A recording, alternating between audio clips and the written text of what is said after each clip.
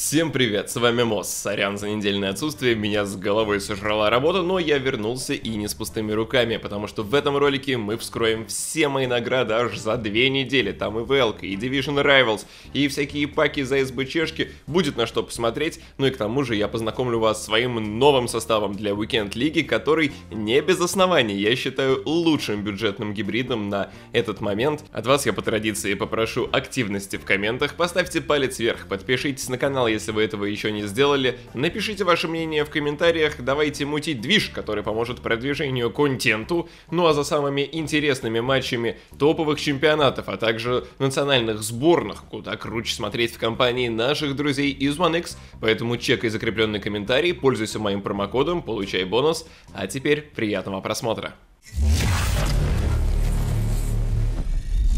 Вах, как бы хотелось хайпануть а выпали Месси и Роналду в паке, поймал лучших игроков за ВЛКу и так далее. Но пользоваться услугами бустеров не по-христиански, вскрывать чужие награды ради контенту тоже не православно, ну а с моим везением в паках в лесу должен загнуться последний медведь, чтобы мне дропнулось хоть что-то с трехзначным ценником. Шутки шутейками, но просто представьте, за 4 года FIFA я не поймал ни одного кумира, а самым дорогим дропом остается информ Каутиньо из какой-то пожилой второй части, и прошлогодний Тоти Хендерсона, да и тот Untradeable. Вот и на минувших неделях, как видите, в паках выпадала самая посредственность. Да и по результатам, звезд с неба не хватал. Вторую ВЛ я начал со статы 11-1, затем, чтобы не влезать в долги на ремонт хаты и таблетки от Батхерта, забрал золото 3 и был таков. Красные пики точеные, игрочки без дзюбы, но суть та же. Ну и в наборах нам тоже предложили маленько лососнуть тунца. Обидно, нам даже самый жир не требовался. А вот что что Паулиньо, что Вальверде вызывали у главного тренера наиобильнейшее слюновыделение. Как заглянем в мой новый состав, поймете почему. В погоне за вожделенными игроками я отправился в СБЧшки и сделал там абсолютно все оставшиеся маломальски перспективные ИПК. Ну и ежедневные челленджи тоже выполнял исправно. Вознаграждением за упорность стали два величайших волкаута,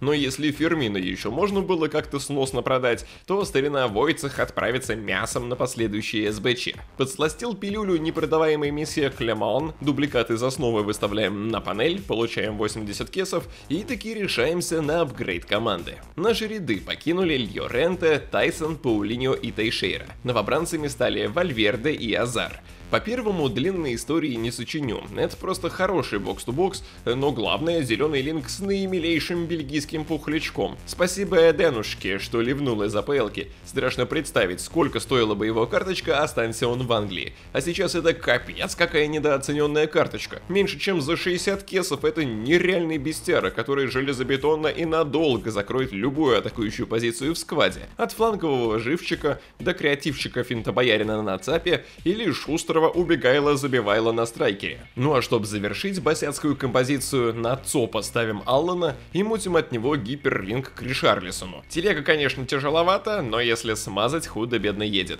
Да и 5 звезд на слабой ноге лишними никогда не бывают. Друзья, если вам не хватает золотишка на топовых игроков, непременно обращайтесь к Ване Мухину, надежный партнер, работаем не первый год, сделает все качественно, оперативно и по выгодному курсу. Ссылка в описании ролика.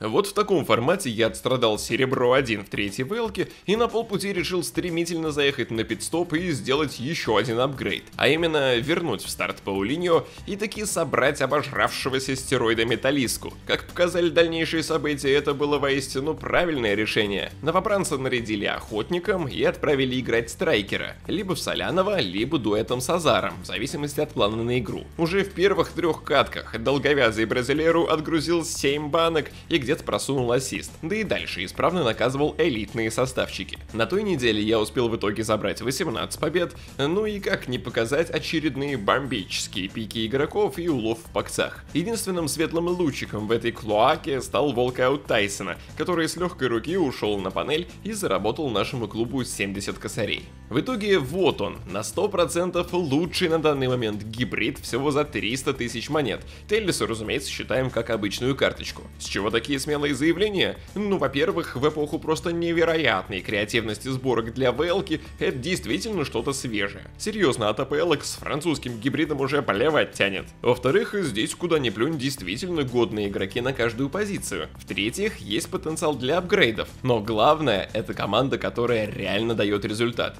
Все матчи прошлые, четвертый по счету ВЛ, а мне пришлось играть в воскресенье, после работы, то есть уже в 6 вечера. Ненавижу такие хардкорные марафоны, но отступать некуда. В итоге с нелепой камерой с видом от ворот, косолапый казуал, который даже в плей-оффы престижных соревнований не выходит, настучал 20 побед с двумя играми в запасе. А значит, каждый первый прожженный эксперт комментаторского дела на ТВ-трансляции с более прямыми руками на изи может брать с ним как минимум элиту. Учитывая, что последние матчи я вымучивал уже сбитым стеклом в глазах, лично я результатом действительно доволен, и это был тот редкий случай, когда после велки осталось позитивное настроение. Для справки гонял я либо узкой 4-2-3-1, либо 4-2-2-2. Обе формации хороши и менялись по ходу пьесы, отталкиваясь от расстановки соперника. Не забудь про мой промокод в закрепленном комменте, по нему ты получишь крутейший бонус.